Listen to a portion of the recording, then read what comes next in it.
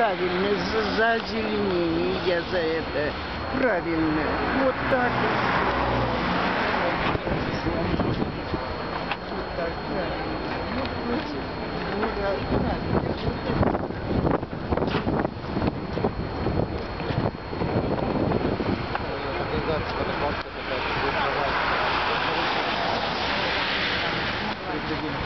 Thank you.